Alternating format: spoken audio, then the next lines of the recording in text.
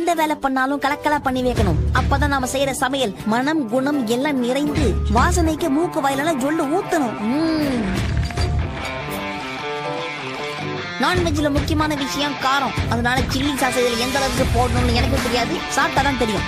Chilli sauce tomato sauce ஊத்தியாச்சு. அடுத்தது நம்ம உப்பை மட்டும் தான் ஆட் பண்ணணும். உப்பு இல்லாத பண்டம் குப்பைக்குன்னு சும்மாவா சொன்னாங்க. அச்சோ பெருசா ஊதிச்சு அது சக்கரை கொட்டு சக்கரை கொட்டு சக்கரை கொட்டு. ஓகே.